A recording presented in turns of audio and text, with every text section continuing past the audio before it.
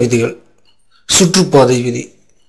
கோள் கோள்கள் சூரியனை ஒரு குவியமாக கொண்டு நீள்வட்ட பாதையில் சுற்றி வருகின்றன. பார்த்தோம் என்றால் கீழே ஒரு அழகான தெளிவான ஒரு அனிமேஷன் ஒன்று உள்ளது.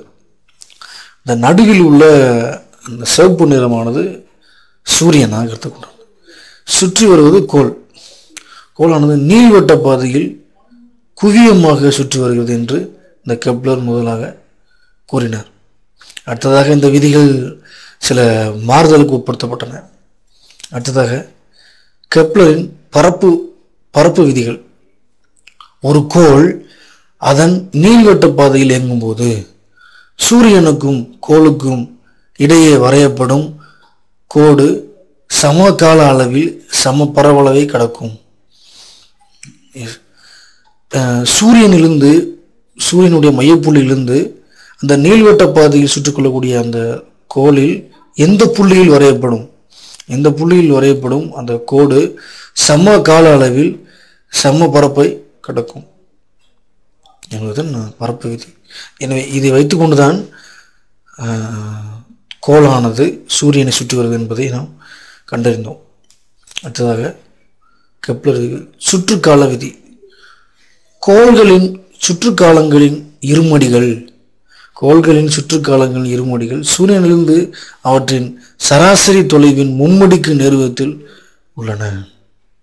எனவேதான் அடுத்ததாக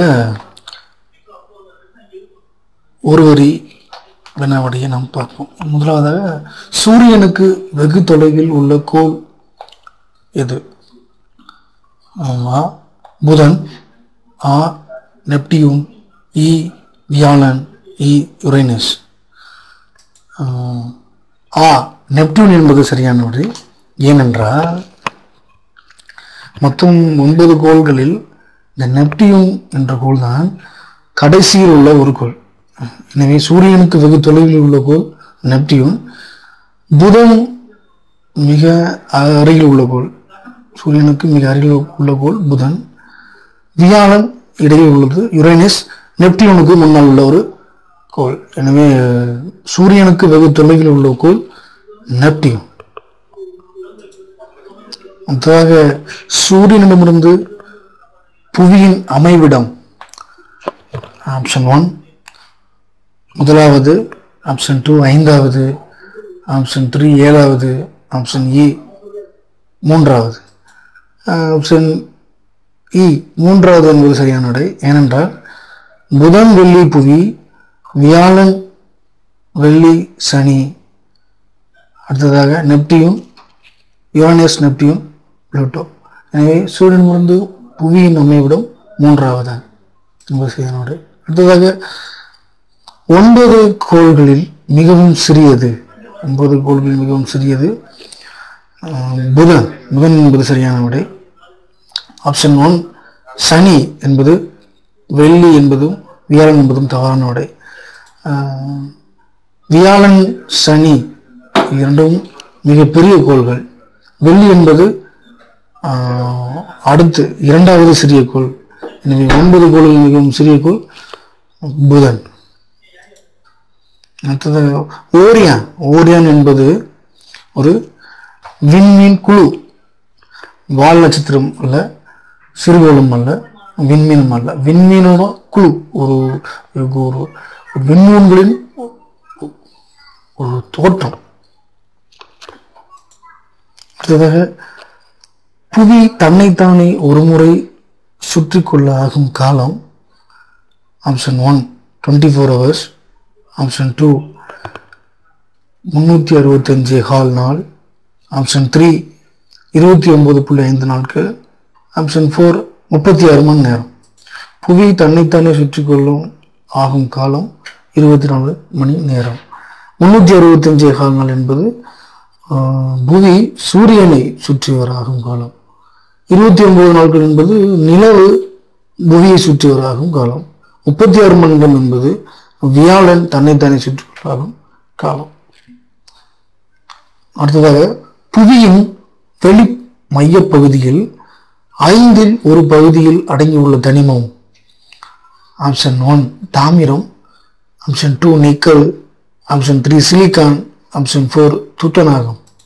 ஆப்ஷன் த்ரீ சிலிக்கான் என்பது சரியான விடை ஏனென்றால் புவியின் மேல்பரப்பில் ஆன வெளி மையப்பகுதியில் ஐந்தில் ஒரு பங்கு சிலிக்கான் டை ஆக்சைடு என்று சொல்வார்கள். சிலிக்கான் டை ஆக்சைடு என்ற மண் சாதாரண மண். இந்த மண் தான் சிலிக்கான் சொல்வார்கள். இதுதான் ஐந்தில் ஒரு பகுதியில் தனிமமாக அடங்கியுள்ளது. தாமிரம் நிக்கல் துத்தநாகம் போன்ற தனிமங்களும் காணப்படுகின்றன ஆனால் குறைந்த அளவில் காணப்படுகின்றது. எனவே சிலிக்கான் என்பது சரியான நடை. அடுத்ததாக புவியின் உள் மைய பகுதியில் நிலவும் வெப்பநிலை. ஆப்ஷன் ஒன் ஆயிரத்தி எழுநூற்றி எழுபது டிகிரி செல்சியஸ். ஆப்ஷன் டூ மூவாயிரத்தி எழுநூறு டிகிரி செல்சியஸ். ஆப்ஷன் த்ரீ ஆயிரத்தி ஐநூறு டிகிரி செல்சியஸ் ஆப்ஷன் ஃபோர் எண்ணூறு டிகிரி செல்சியஸ் இதில் ஆப்ஷன் ஒன் ஆயிரத்தி எழுநூற்றி இருபது டிகிரி செல்சியஸ் என்பது சரியான விடை ஏனென்றால் புவியை மூன்று அடுக்குகளாக பிரிக்கலாம்.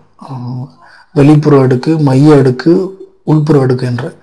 இது புவியின் உள் மைய பகுதியில் நிலவும் வெப்பநிலை. உள் மைய பகுதி முழுவதுமாக குழம்பு லார்வா என்று சொல்வார்கள். அந்த குழம்புகள் ஆக்கப்பட்டிருக்கும். எனவே அதனுடைய வெப்பநிலை மிகவும் அதிகம்.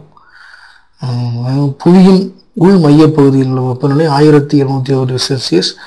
அடுத்ததாக மையப்பகுதியில் நிலவும் வெப்பநிலை சற்றே குறையும்.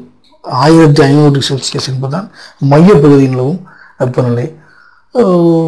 வெளிப்பகுதியில் உள்ள வெப்பநிலை நம் கண்கூடாக பார்த்து கொண்டிருக்கிறோம். முப்பத்தி ஐந்து டிகிரிலிருந்து நாற்பது டிகிரி வரை காணப்படும். புவிக்கு அருகில் உள்ள வளிமண்டல அடுக்கு இது அடிக்கடி விஏஓ தேர்வில் கேட்ட ஒரு கேள்வி இது கடைசியாக கேட்ட விஓ தேர்விலும் இந்த கேள்வி வந்து அமர்ந்திருந்தது. புவிக்கு அருகில் உள்ள வளிமண்டல அடுக்கு option one ionosphere option two stratosphere option three troposphere option four atmosphere இதில் ஆப்ஷன் த்ரீ ஸ்ட்ரோபோஸ்பியர் என்பது சரியான விடை. ஏனென்றால் முதல் அடுக்கு ஸ்ட்ரோபோஸ்பியர் அதற்கு அடுத்த அடுக்கு மீசோஸ்பியர் அதுக்கு அடுத்ததாக ட்ரோபோஸ்பியர் அடுத்ததாக அயனோஸ்பியர். இந்த அயனோஸ்பியர் என்று சொல்லக்கூடிய அந்த அந்த வளிமண்டல அடுக்கில் எந்தவித காற்றும் எந்தவித அயானும் எந்தவித ஒரு பொருளும் இருப்பதில்லை. அந்த அடுத்ததாக சொல்லக்கூடிய ட்ரோபோஸ்பியர் என்பதில் அது கொஞ்சம் சிறிதளவு தான் இருக்கிறது. அதுக்கடுத்து மீசோஸ்பியர்னு சொல்லுவார்கள் அதுதான் இந்த ஓசோன் லேயர்னு சொல்லுவார்கள் அதெல்லாம் காணப்படுகின்றன.